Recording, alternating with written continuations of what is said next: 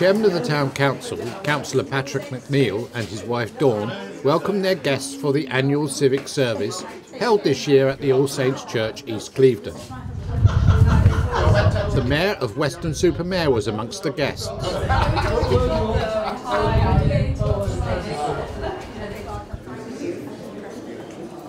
Attendance is by invitation only from the chairman of the council and is one of the last events he or she will officiate at before ending their year of office.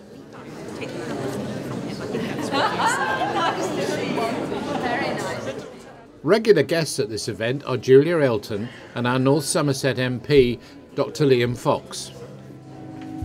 A fair smattering of councillors were also in attendance.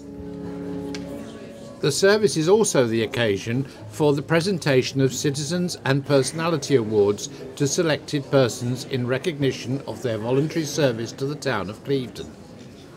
Three rows of pews were reserved for these special people.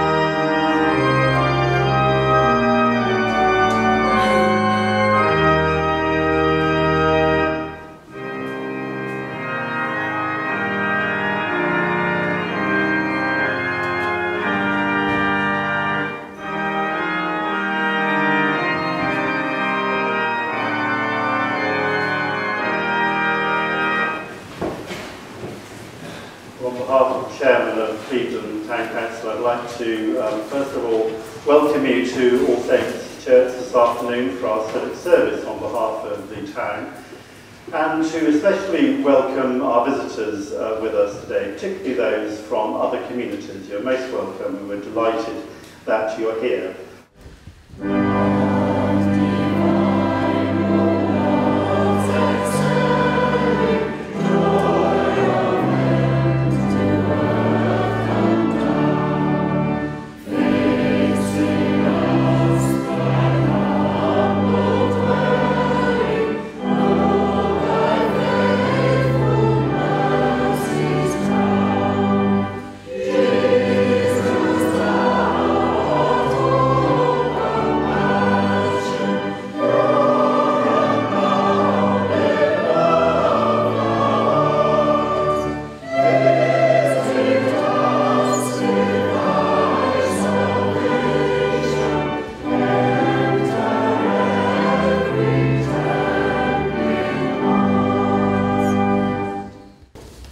It's a very difficult task to find the people who to give the award because there are so many in Clevedon to choose from.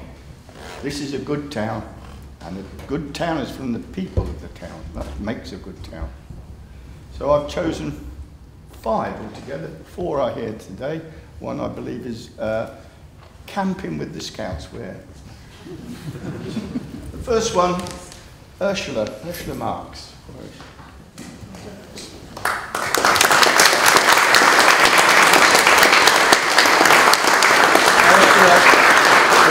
Years, um, you've given great support to a great number of people, and in particular the Clevedon Senior Citizens Forum.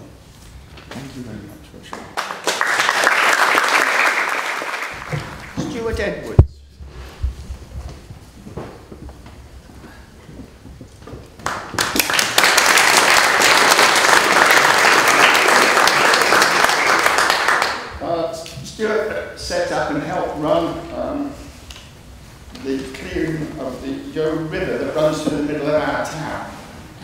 Also works with the Environment Agency to keep it out there. And he's done it since 2003 and still works at it.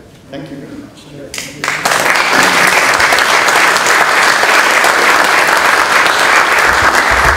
Robert Campbell.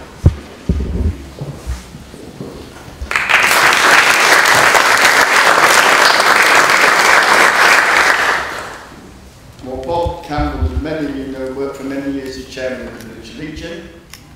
Uh, as he works at the moment a lot for the Historic Society.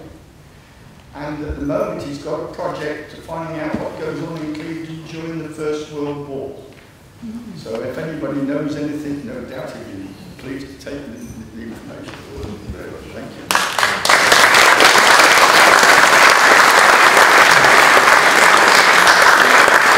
Jeff, Jeff Hales.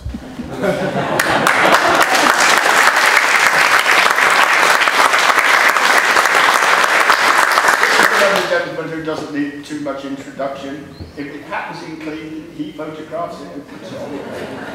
Then for over the years, well done and thank you.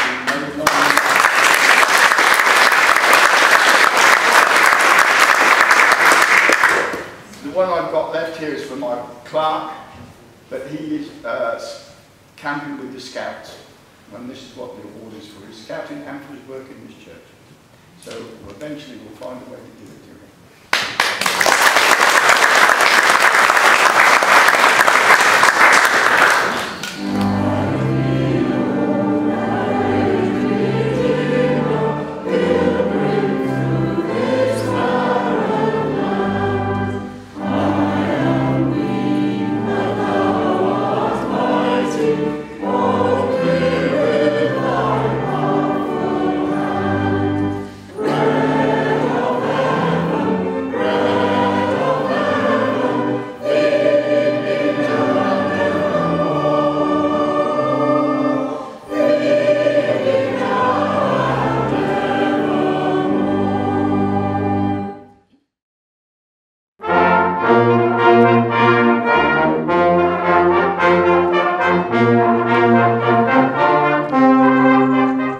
As Liam Fox reported in last month's Clevedon News, the River Land Yeo flows right through our town.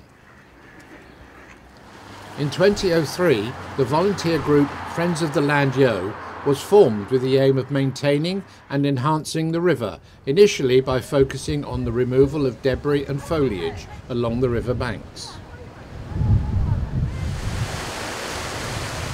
The group's responsibility ends here at the Environment Agency's maintained outfall at the Pill.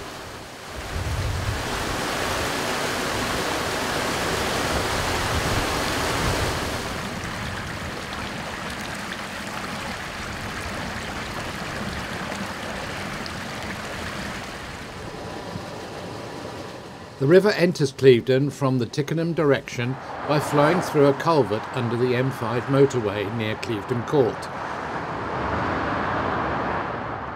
And it was here that we arranged to meet the chairman of the group, Stuart Edwards, who was also one of the founders of the Friends of Land Yeo 10 years ago. The Land Yeo Friends are mainly concerned with a section of the river that runs from the motorway here through the town to Clevedon Pill. But it was on this side of the motorway, the Tickenham side, that major changes were made to the water courses that affected the flow of water going through the town uh, and into the Pill.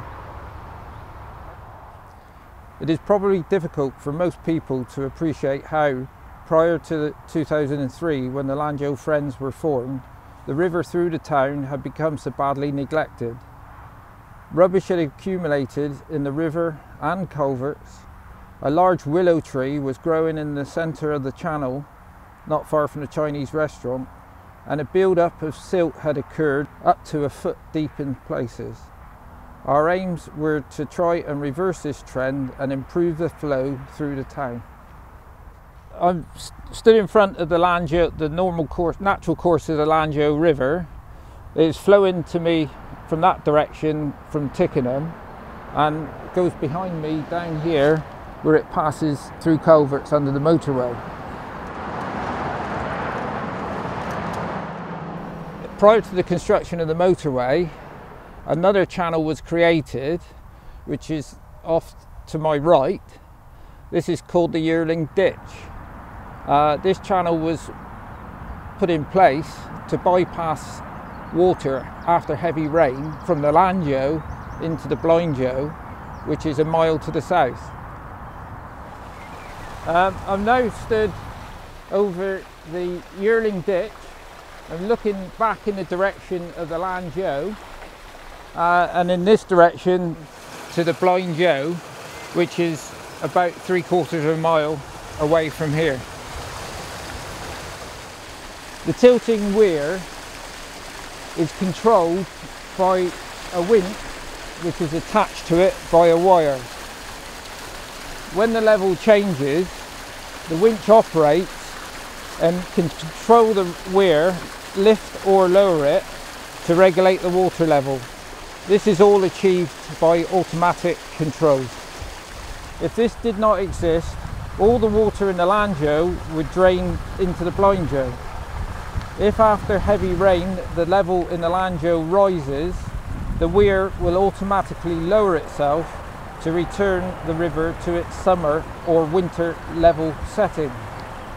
In the summer, from April the 1st, the level is higher to raise the water table on the farmland. From December the 1st, it is lowered to improve drainage. This goes some way to explain why water levels and flow are usually lower during the winter months through the town.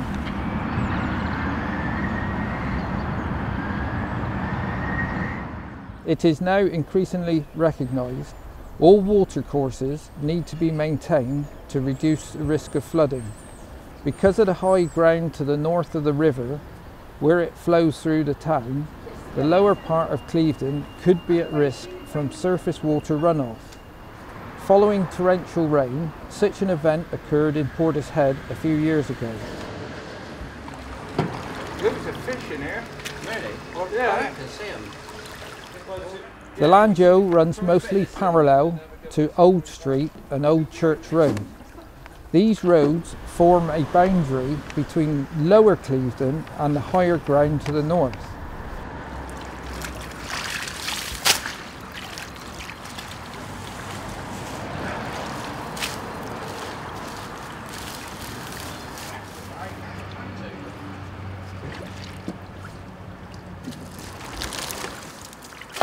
In the last 10 years, there has been an increase in extreme weather events and flash flooding.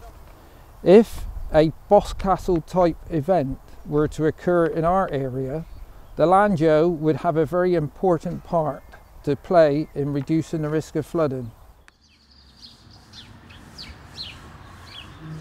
Thanks to the Land Yeo Friends, I am pleased to say the watercourse through the town is now in much better condition than it was in 2003.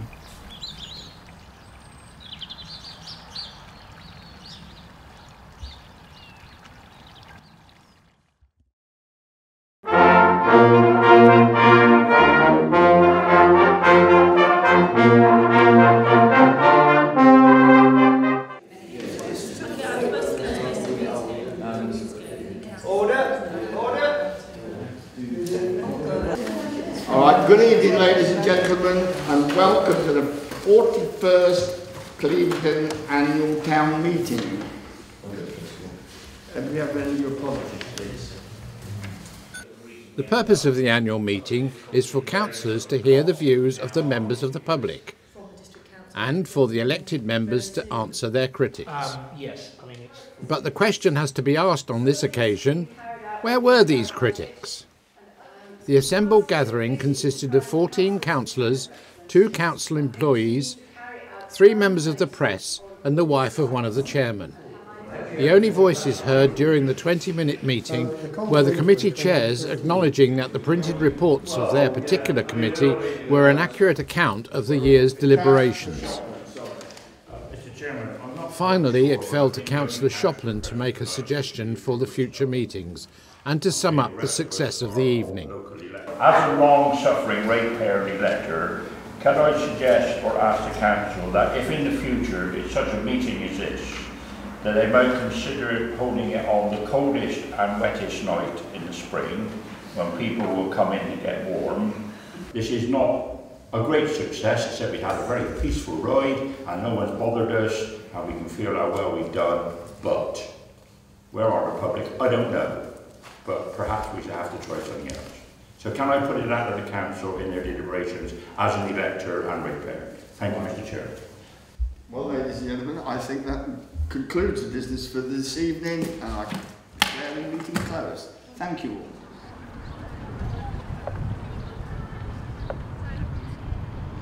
Since the foundations for this boathouse extension to the sailing club headquarters on the beach were laid last year, nothing has happened. Then suddenly, during this month, this framework has appeared.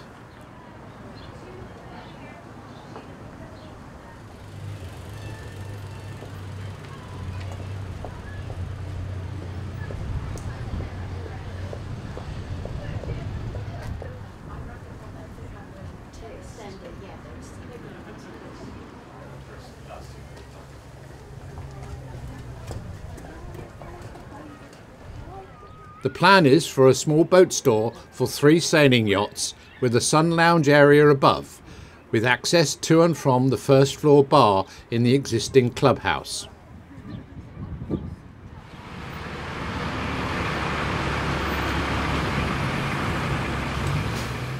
It's always sad to see a bus service disappearing, and the sudden unexpected demise of the Pier Buses X7 service from Sixways to Temple Meads Station was no exception. Pier Buses was set up by Sean Craigie in March of last year and had run three cream and green single deckers ever since. Passengers are now left with the half hourly first X6 service direct to Bristol bus station and the hourly X8 service that also goes to the bus station but via Nailsea and Backwell.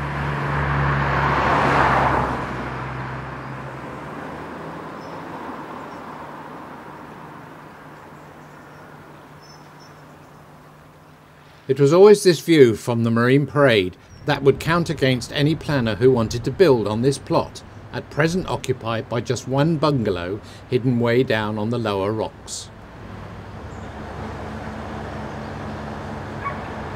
And this plan to build these nine four-storey townhouses, which as can be seen would totally obliterate the view, was just too much for many people living in the town.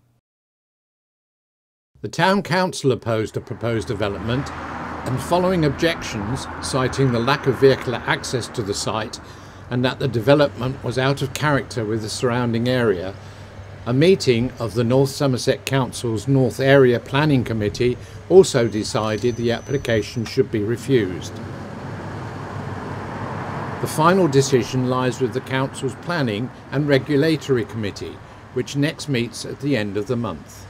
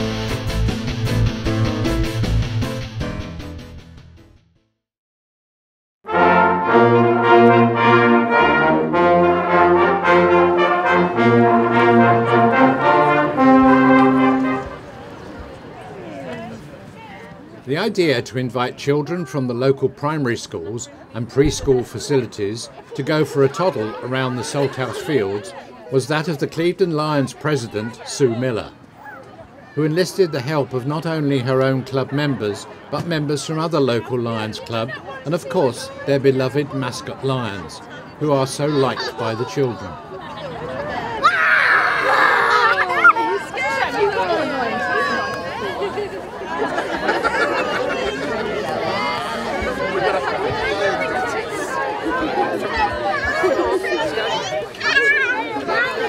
Really? Okay, you should do it ready, steady, and go. Just over 50 children took part in the toddle, with parents and siblings tagging on behind.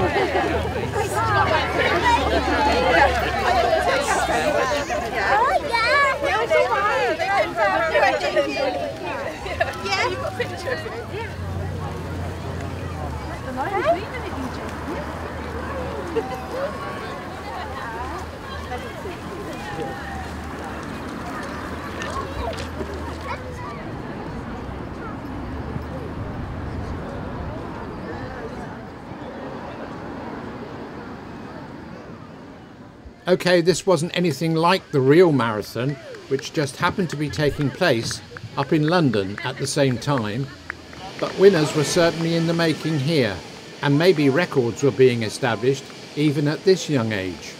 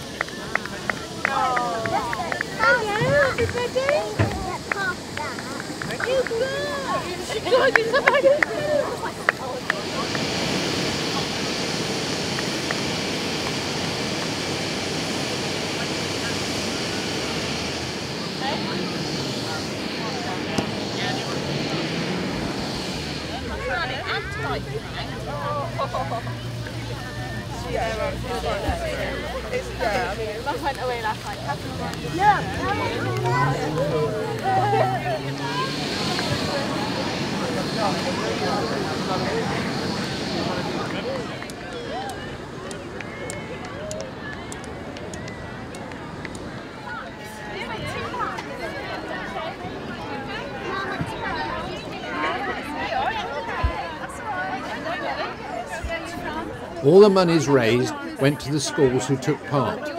It was not a large amount, but the Clevedon Lions Club were happy that they were able to raise awareness for their club in the community, particularly emphasising their work with young people. Lemon. That's a fruit. Fruit one or orange. Fruit. That right there. Thank you.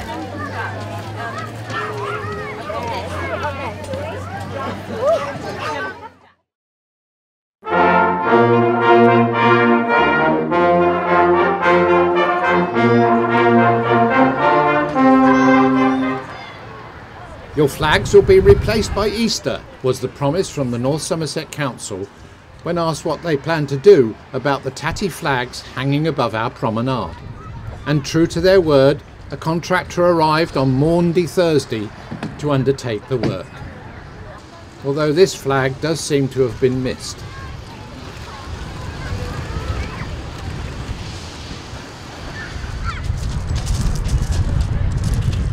As with last year, the flags had to be hung using a cherry picker to gain access to the fixing points. There is no provision within the flagpole to hoist the new flags up the pole by rope.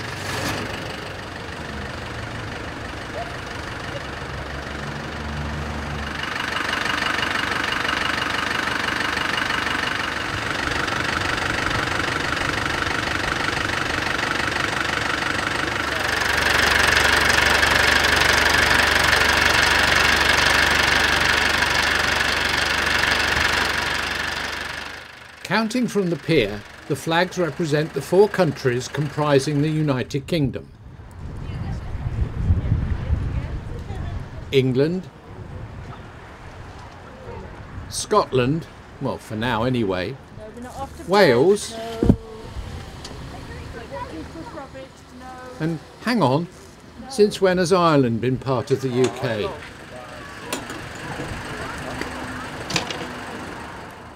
From the sea, the last eight flags spell out the name of our town to mariners who may be lost at sea. Using the International Maritime Signals flags. Charlie,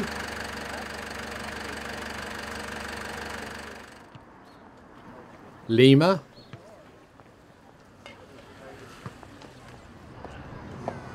Echo,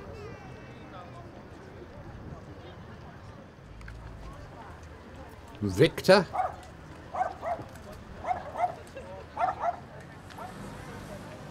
Echo,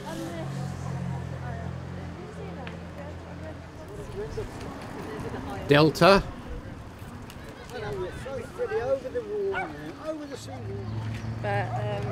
Oscar, and finally November.